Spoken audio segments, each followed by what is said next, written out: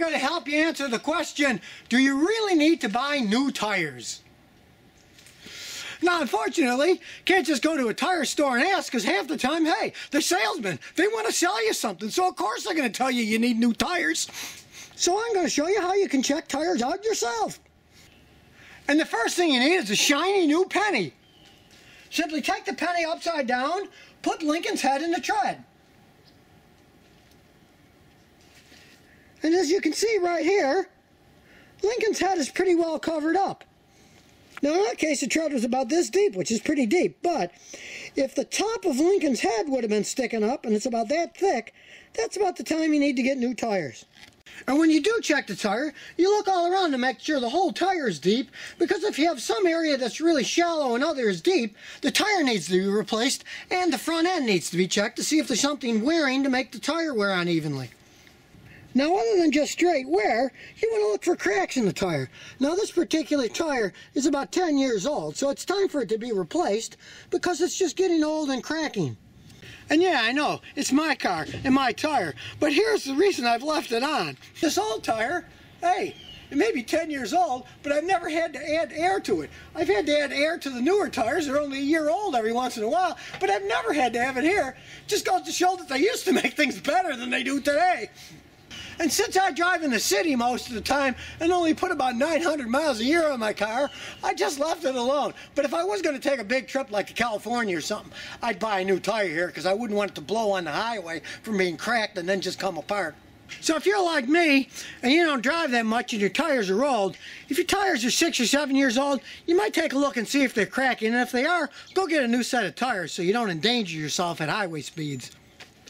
Then, of course, the question arises, if you need new tires, which tires should you buy? Well, as a general rule of thumb, I go to a discount tire store and I look at the tires there. I never buy the cheapest tires because they're often Chinese-made ones that aren't that good. So being a cheapskate that I am, I'll buy the second or third cheapest tire, and then that's perfectly good for what I'm doing, just normal city driving, and I don't put that many miles on them anyways. They dry rot before they wear out.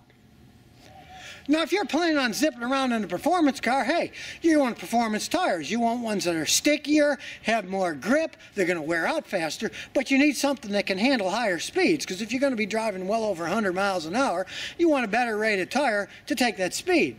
In that case, you might want a higher performance tire like this Michelin. But whatever brand you buy, I still say stay away from Chinese-made tires. When this tire was one week old, it got a hole in it that had to be plugged, and these are Chinese-made tires. They're often just too soft, nails get in, they easily get punctured. And years ago, I mistakenly got a set of Chinese tires from my wife's big Toyota Cressida. In two years, they all got out around. The car kept shaking, and when I jacked it up and spun the tires, they all had big lumps in them. They were so junky, so stay away from the Chinese tires. And when it comes to maintaining your tires, there's only one thing you really need to do. Check the air pressure every once in a while. Because if you're low on air pressure, not only will you get worse gas mileage for more rolling resistance, but you're more likely to get punctures on the tire when they have less air pressure in them. And remember, tires get hot when you drive them, so the pressure goes up from the heat. So you want to check the pressure in your tires first thing in the morning when the tires are cold. And when the weather changes, like here, it just went from 75 to 35, check them when it's 35 because they often need a little bit extra air then. So the next time somebody tells you you need a new set of tires, hey, check them out first before you shell out that money. And remember, if your car has any problems, just visit the Scotty Kilmer channel. Before it's too late.